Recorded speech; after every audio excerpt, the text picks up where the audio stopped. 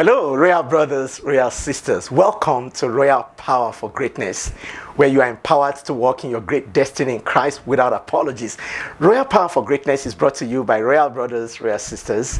It's the world's first one on one Christian and professional mentorship network for all youth and young adults across the body of Christ worldwide. My name is Wesley Ogude.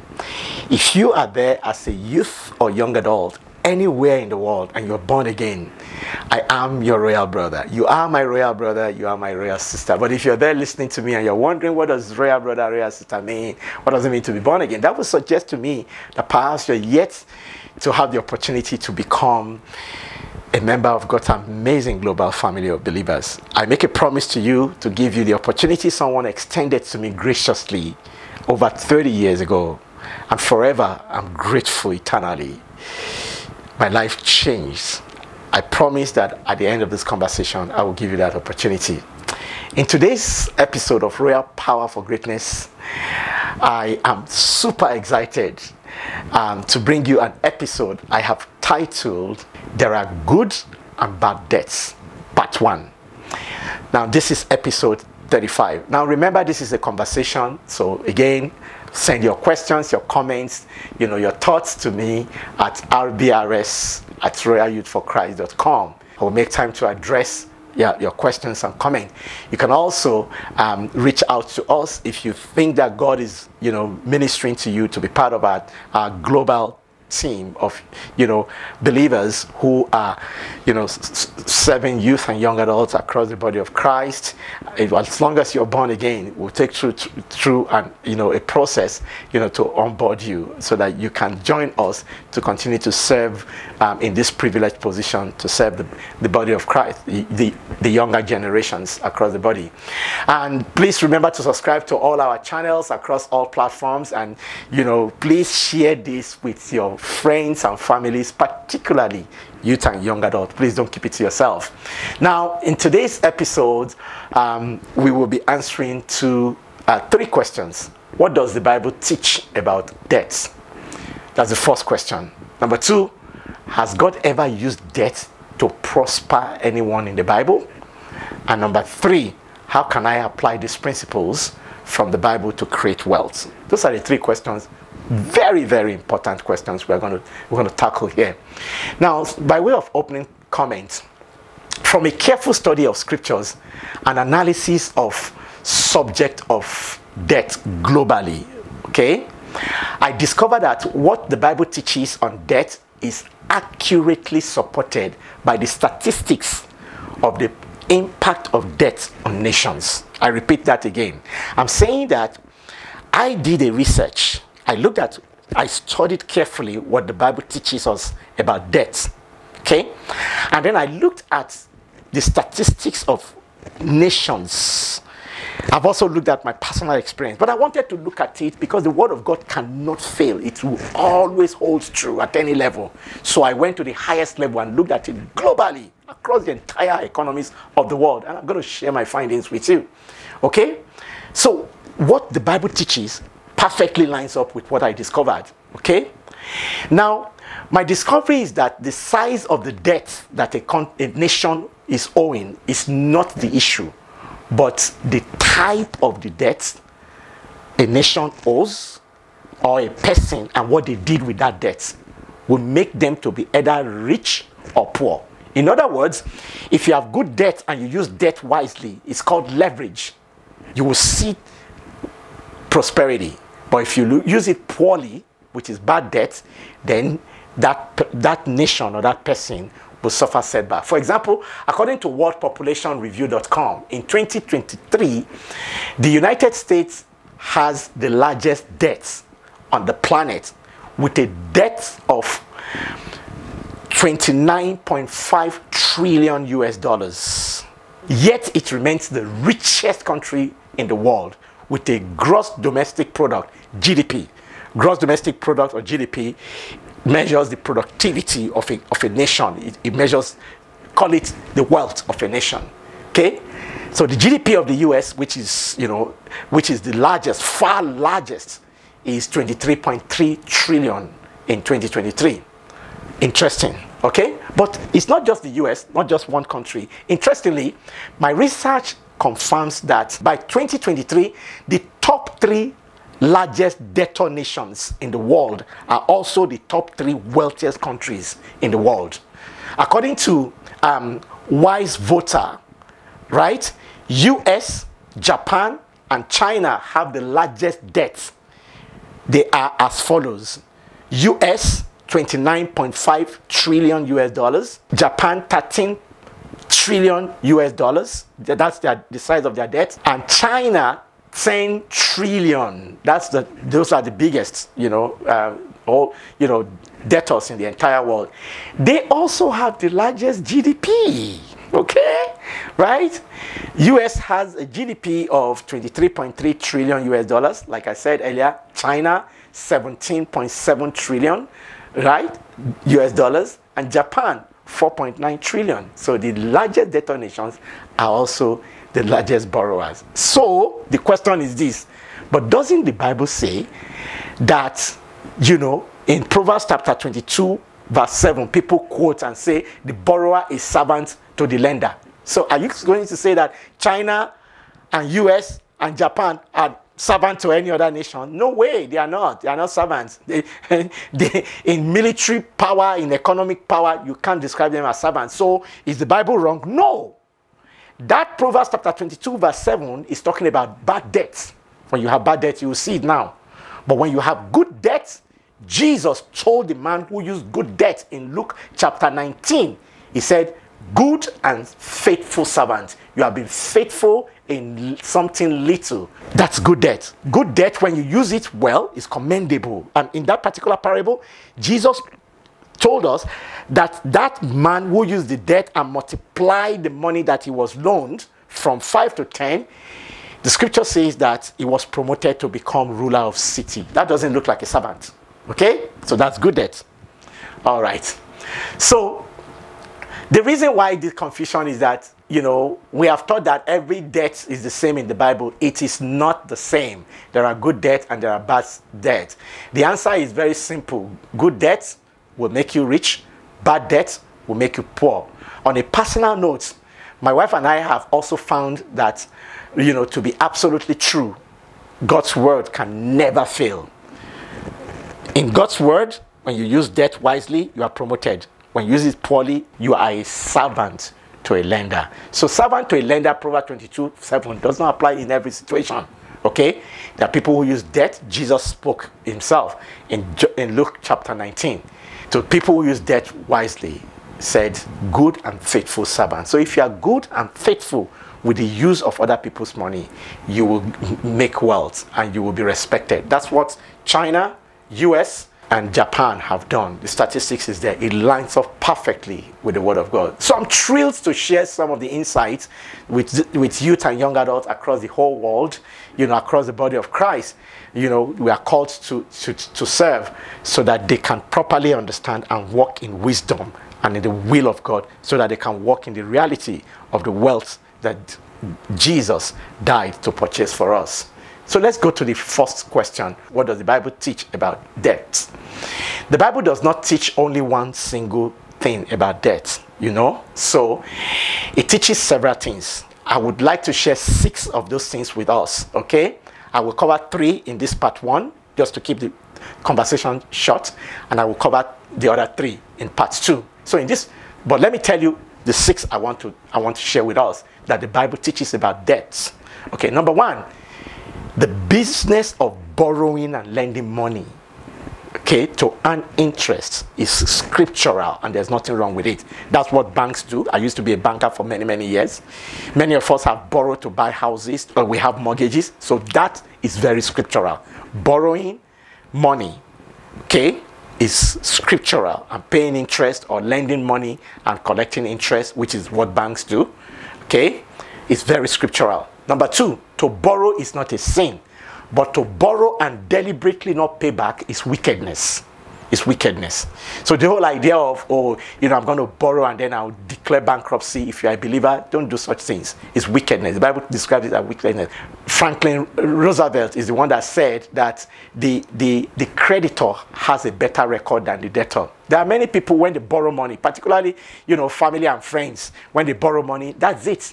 They forget completely. Some will even have the audacity after borrowing money from you, they won't even pay back. The next time they see you, they won't even talk about it. Guess what? The next time they are going to talk to you again is when they need another money. They come back to come and borrow. Men, don't do such a thing.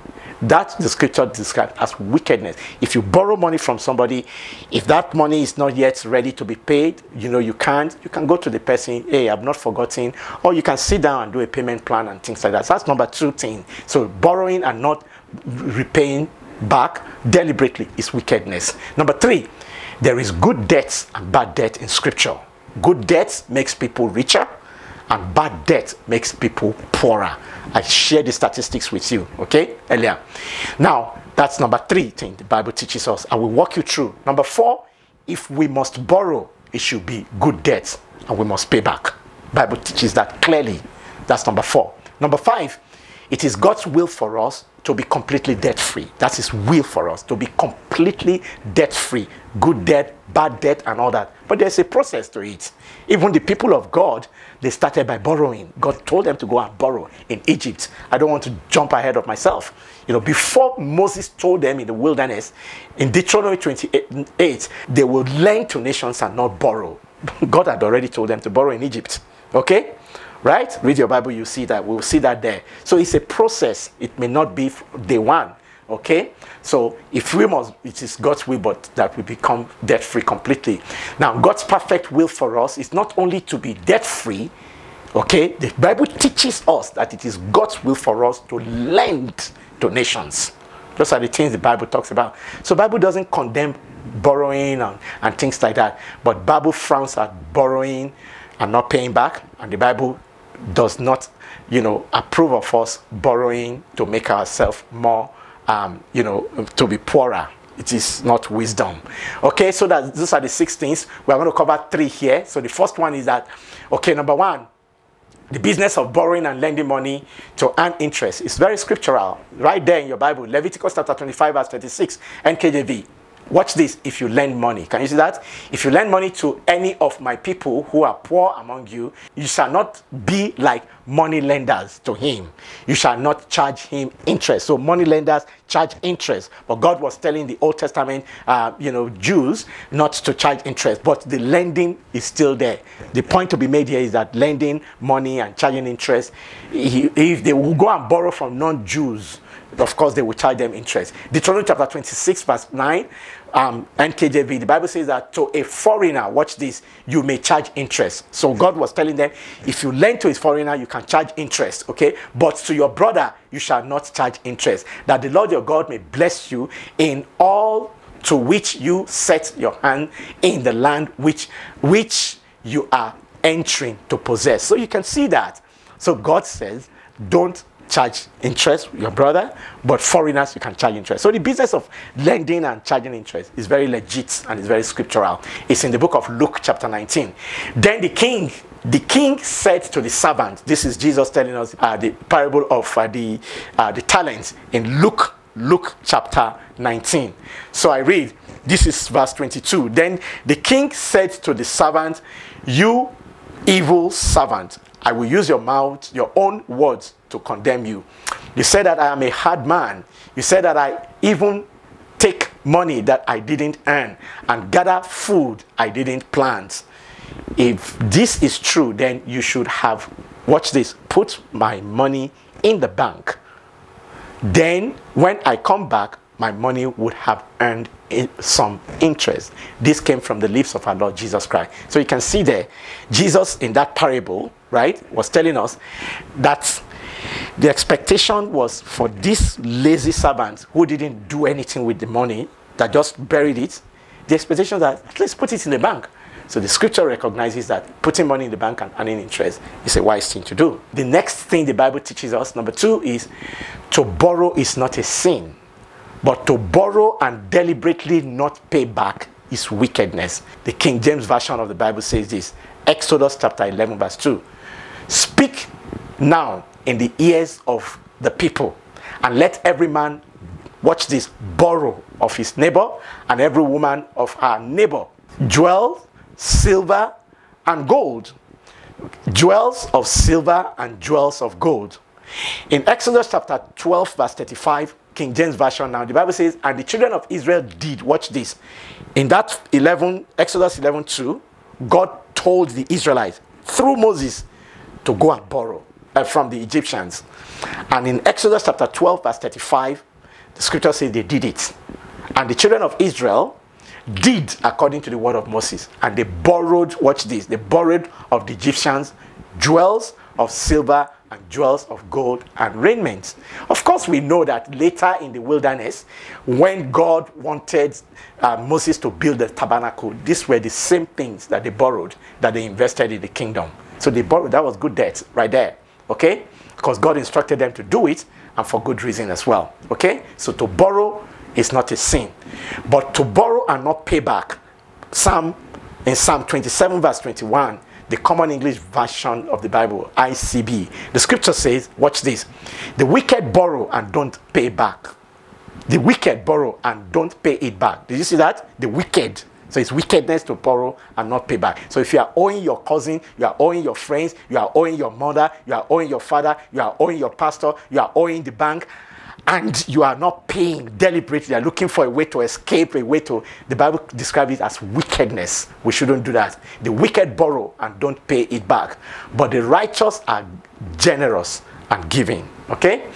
So those are the two things that we cover. Now, let's look at number three thing that the Bible teaches. The Bible teaches us that there is good debt and there is bad debt in the Bible. Good debt and bad debt. Let me use a scripture that Holy Spirit used to teach me this. Let me share that with you. So the point here is this. The Bible teaches us that there is good debt and bad debt in the Bible. Good debt makes people richer, bad debt makes people poorer. It's clear. Second Kings chapter 4 from verse 1 to 7. Let me read this to you.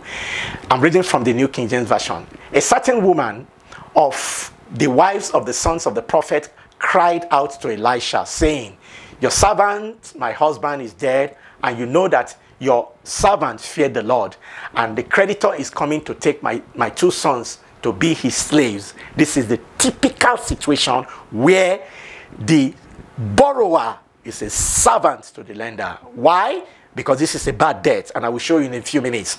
So Elisha said to her, What shall I do for you? Tell me. What do you have in the house? And she said, Your maid servant has nothing in the house but a jar of oil. Then he said, Go again, look at it, go borrow. If borrowing is a sin, you can see, ironically, God is using borrowing to solve borrowing. The first borrowing was a bad debt. Watch this. The next borrowing here is a good debt. You'll see why I said that. Then he said, Go borrow vessels from everywhere, from all your neighbors, empty vessels. Do not gather just a few. Borrow them, borrow a lot. And when you have come in, you shall shut the door behind you and your, and your sons. Then pour it into those vessels and set aside the full ones. So she went from him and shut the door behind her and her sons, who, who brought the vessels to her. And she poured it out. Now it came to pass when the vessels were full that she said to her son, Bring me another vessel. And he said to her, There is no another vessel. So the oil ceased. Then she came to the to the to and told the man of God. And he, that is the man of God, said, Go sell the oil and pay your debts, and you and your sons live on the rest. May God bless the reason of His word. In this story, there are some profound principles. Let me point them out as the Holy Spirit showed me them. Number one, there are five principles here about good debt and bad debt. Number one, this is a classic of a bad debt at the beginning. This woman's husband apparently borrowed some money. Okay, it is obvious that he didn't use the money to do business, he didn't use it to buy any assets. Why do we know that? Because if he used it to buy a house, for example, it is not the two sons they will come for. They will come for the house, they will come for the collateral. I'm a banker, okay? I used to be a banker, and I'm a trained banker. And I'm an investor today. I know that when I go to borrow from the bank and buy a property as a real estate investor, I don't use my children as collateral.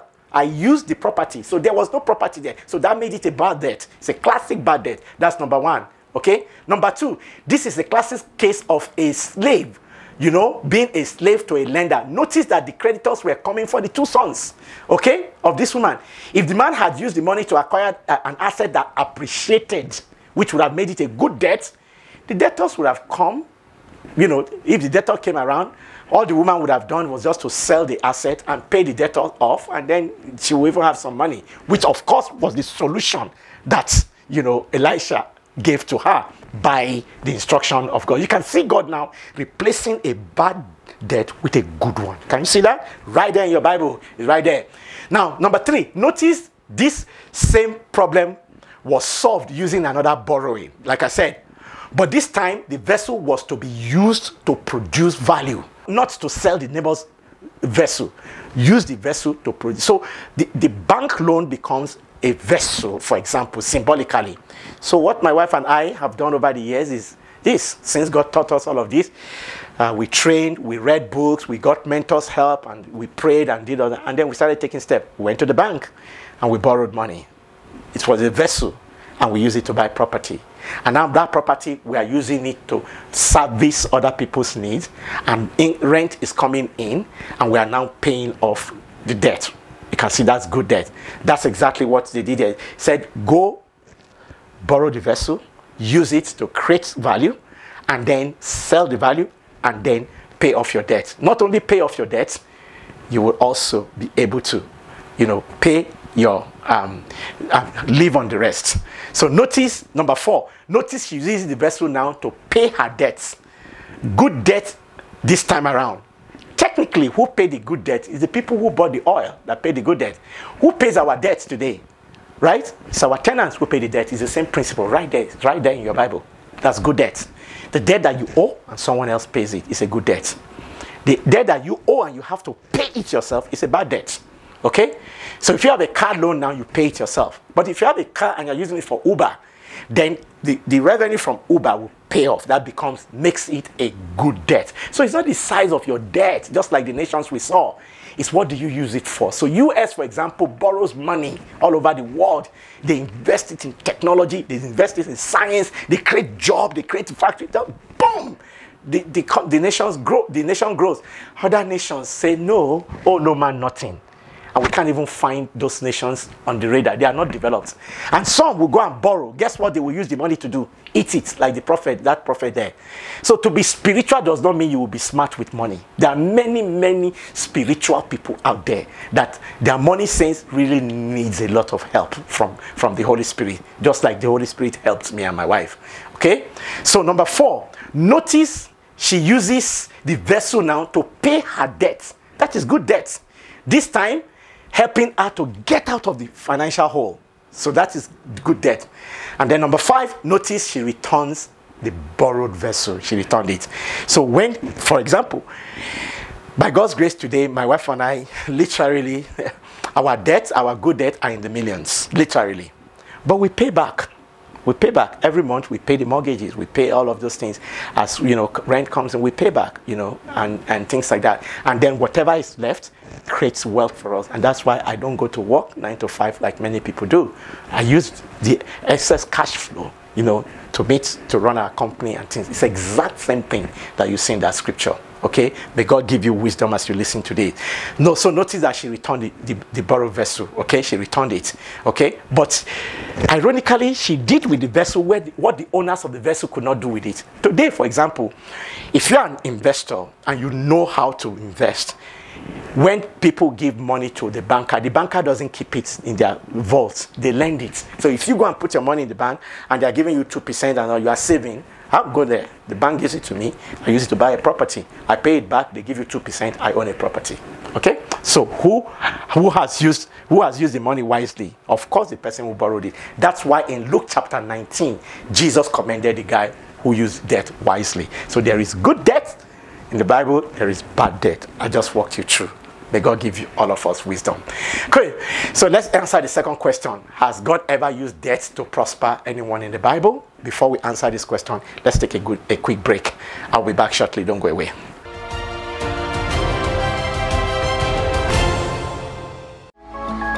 mentors encourage and enable their mentees' personal and spiritual development.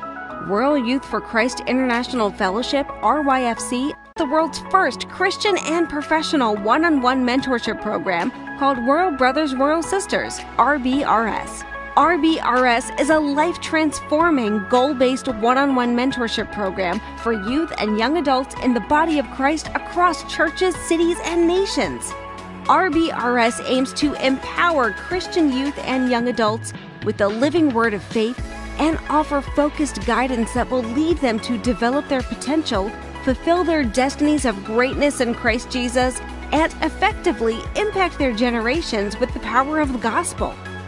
The mentorship relationship will be built around six key areas from which each mentee can set their mentorship goals an intimate relationship with Jesus Christ, outstanding career success, talent development and entrepreneurial abilities, preparing for and building a blissful marriage, outreach and missions, and leadership development.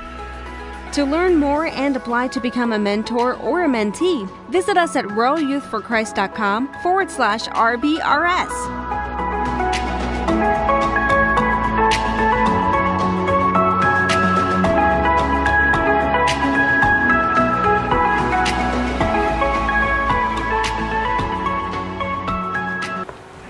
Thank you so much. Welcome back. So let's answer the second question. Has God ever used debt to prosper anyone in the Bible? The answer is absolutely yes. Yes, a number of times. In this episode, I will, I will walk you through the story of the widow. God, let's use that. Number one, God used that borrowing of the vessel. Borrowing, any kind of borrowing, you know, it's leverage, whether it's money or whatever you know, it's the same concept. What doesn't belong to you, you go to borrow it, right? Okay, God used the borrowed, the borrowed vessel to get her out of debt. Number two, God used the borrowed vessel to deliver her two sons from slavery. So borrowed vessel today, money that we borrow from bank, delivered me from nine to five. That's why I can do what God has asked me to do today. For 25 years, I worked. I had no asset. I had no asset. My house was a liability. But today that has changed. So God God used a good debt to deliver these two sons. And today God has used good debt to deliver me and my family from struggle. Number three, God used borrowed vessels, you know, to give her enough for her to live on practically. That was financial independence. So when I say on this channel that by the grace of God, until I take my last breath, I will never need a company, I will never need a government to send paycheck to me and I will never carry another resume. Why? This is the secret. Okay? And again, I add the caveat. Please, when I say this, it is not that I have arrived, my wife and I have arrived. No, we have not. But we have applied these things and it has worked. And God will also help you to be able to apply it with the help of mentors. Okay? And I always add a caveat. Please don't send email to me. We don't lend money. Okay? And I said it earlier before. Uh, sometime I said this and somebody but they were just writing email. I, I want to close my house. Please don't do that. Um, listen to it, take it, take the lesson, and prayerfully implement it. It's better for you to learn how to catch the fish than for someone to give you the fish. If I waited for my mentor to give me the fish, I would not be here sharing this with you. Okay? All right. So those are. So how can I apply this? Again, we are going to go through three ways to apply. There are six ways to apply. We'll cover three here. Number one, pay off anyone you are owing okay? Or put a repayment plan in place. That's the place to start from. Get rid of of debts. Bad debt. Debt that you don't even know what you did with it. You went to use it to buy or whatever you know you know um, you know brand name or you use it to do party or whatever you know pay it off. It's wickedness to owe and deliberately not pay. So, you know, God normally shuts the door of favor against such people. Number two, pay off any bad debt they make you poorer. We've seen it in the scripture. And number three, position yourself to be able to access good debt and learn how to use good debt to responsibly create wealth. I will do an episode on that if you continue to follow this channel. In other words, position yourself to have access to good debt and use that good debt to do things that will liberate you financially. That's how to do it. So, in wrapping up, um, in this episode, I mean, it's been an exciting one. Um, you know, we answered three questions. Okay, what does the Bible teach about debt? I walked you through extensively, and uh, we answered that question. Has God ever used debt to prosper anyone in the Bible? Depends on the debt. We have also seen that. The answer is yes, good debt. And then number three, how can I apply these principles from the Bible to create wealth? We also went through that. Of course, we went through, you know, part of the answers and the other balance of the answers we will cover in the part two of this episode. I cannot wait, you know, for another, you know, two weeks, uh, you know, to bring that your way. Um, but before I finally close this, I want to keep my promise to anyone that is out there that you don't know the Lord Jesus Christ. We've been talking about wealth, we've been talking about money and things like that. Of course, God wants us to be uh, to be prosperous. Jesus died and he became poor so that you and I can be wealthy right? But material wealth will take, we will not take it anywhere. The scripture says in Hebrews chapter 9, verse 27, that it is appointed unto man once to die, and after death there is judgment. And the scripture says that we did not bring anything to this world, and it is certain we cannot carry anything out. First Timothy chapter 6, verse 7. Okay? So it is extremely important that we be saved and we live a life that pleases God so that when it is all over, when we can't carry our money, our property, our assets to anywhere, our souls can be saved. This is how Jesus put it in Mark chapter 8, verse 36 to 7. He said, For what will it profit a man if he gains the whole world and loses his soul? So God does not want you and I to lose our soul. Somebody gave me this same opportunity. It was on the 19th of July 1987, over 35 years ago. My life changed forever. So I want you, if you are there, you gave your, you want to give your life to Christ for the first time, or you gave your life to Christ before, but something happened, you got disconnected. I am not here to condemn you, and God is not condemning you. God is not angry with you, but He's calling you lovingly back home. I want you to please bow down your head and say this simple prayer with me by faith. You can close your eyes or choose to open it. I want you to say, Lord Jesus, I acknowledge that I am a sinner. Please forgive me my sins. I believe you died for me. And on the third day, you rose again. I accept you today as my personal Lord and Savior. In Jesus' name. If you pray that prayer sincerely, I believe with the whole of my heart that you got born again. Now, I want you to please find a Bible believing church near you to start to attend so that you can be in the midst of a community of believers so to help you grow. Um, in this kingdom, there are no orphans. We all belong to a local church, including myself and my family.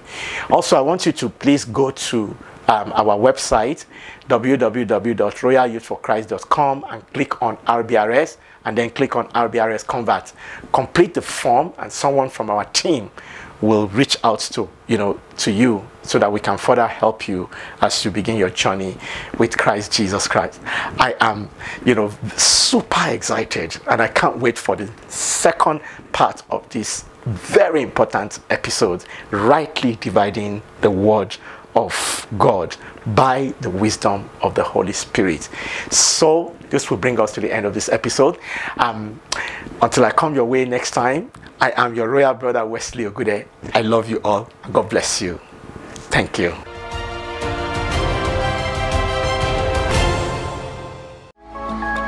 Mentors encourage and enable their mentees' personal and spiritual development.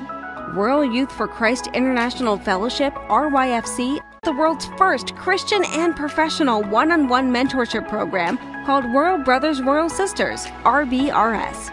RBRS is a life transforming, goal based one on one mentorship program for youth and young adults in the body of Christ across churches, cities, and nations. RBRS aims to empower Christian youth and young adults with the living word of faith and offer focused guidance that will lead them to develop their potential, fulfill their destinies of greatness in Christ Jesus, and effectively impact their generations with the power of the gospel. The mentorship relationship will be built around six key areas from which each mentee can set their mentorship goals an intimate relationship with Jesus Christ, outstanding career success, talent development and entrepreneurial abilities, preparing for and building a blissful marriage, outreach and missions, and leadership development. To learn more and apply to become a mentor or a mentee, visit us at royalyouthforchrist.com forward slash RBRS.